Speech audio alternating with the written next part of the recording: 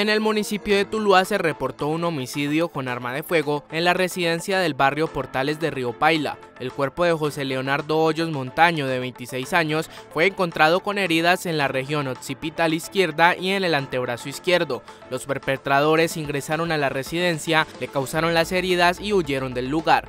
Los móviles y los agresores son materia de investigación por parte de las autoridades competentes. En la mañana de este domingo 11 de junio, un hombre identificado como Miguel Antonio Loaiza Franco, que se movilizaba en una motocicleta de placas SNS 62C, al parecer perdió el control de esta, saliéndose de la vía y colisionando contra un canal de aguas lluvias donde perdió la vida de manera inmediata. Loaiza Franco, de 35 años de edad, era oriundo del municipio de Tuluá, aunque residía en Andalucía. Sin embargo, las autoridades adscritas a la especialidad de tránsito y transporte serán las encargadas de esclarecer lo sucedido. En el corregimiento de Salónica, perteneciente al municipio de Río Frío, se registró un homicidio con arma cortopunzante. El cadáver de César Augusto Zapata Ramírez, de 34 años, fue encontrado en el sector de La Quincha, en la mitad del río Lindo, zona rural. Presentaba heridas en diferentes partes del cuerpo causadas por un arma cortopunzante. Los móviles y los agresores están siendo investigados por las autoridades competentes. En el municipio de Obando, en las instalaciones del hospital local, se llevó a cabo una inspección técnica del cadáver de Andrés Felipe Vázquez Martínez, alias El Mueco, de 32 años. Este individuo presentaba varias heridas ocasionadas por arma de fuego. Los hechos ocurridos en el barrio Silvio Vázquez y tanto los móviles como el agresor están siendo investigados por el CTI. En el municipio de Tuluá, en las instalaciones de la Clínica San Francisco, se realizó una inspección técnica del cadáver de Didier Alexander Salcedo Cardoso, de 29 años. Este individuo sufrió varias heridas con arma de fuego en diferentes partes de su cuerpo, mientras se desplazaba en una camioneta de estacas por la vía que conecta el corregimiento de Nariño con Río Frío.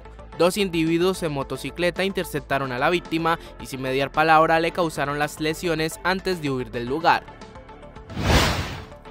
En el corregimiento La Dolores, perteneciente al municipio de Palmira, se reportó un homicidio con arma de fuego en la vereda Piles, zona rural. El cuerpo de Arley Montoya Ceballos fue encontrado con heridas de bala en diferentes partes del cuerpo mientras se encontraba dentro de un vehículo. Los móviles y los agresores están aún por determinar. En el municipio del Cerrito, en instalaciones del Hospital San Rafael, se llevó a cabo una inspección técnica del cadáver de Diego Fernando Bedoya Cabal, de 44 años. Este individuo presentaba heridas ocasionadas por arma cortopunzante. Los hechos ocurrieron cuando la víctima intentaba ingresar a un establecimiento y la capturada se opuso, ocasionando la lesión en respuesta a la resistencia del occiso.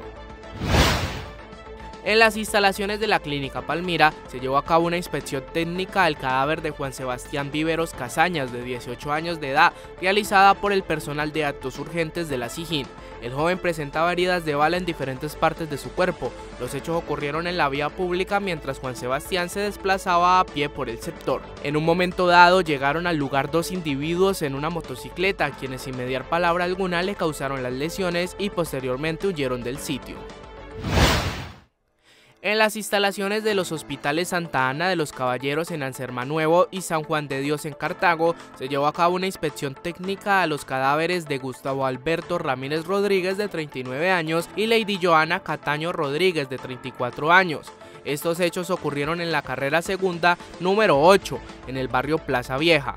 El personal de actos urgentes de la SIGIN fue el encargado de realizar dicha inspección. Gustavo Alberto presentaba múltiples heridas de bala en diferentes partes de su cuerpo y fue atendido inicialmente en el Hospital Santa Ana de los Caballeros, donde posteriormente falleció. Por su parte, Lady Joana sufrió una herida de bala en su cuerpo y recibió atención médica en el Hospital San Juan de Dios en Cartago, donde también perdió la vida. Ambos se encontraban departiendo en el lugar cuando un individuo en una motocicleta llegó sin mediar palabra y le ocasionó las lesiones antes de huir al sitio.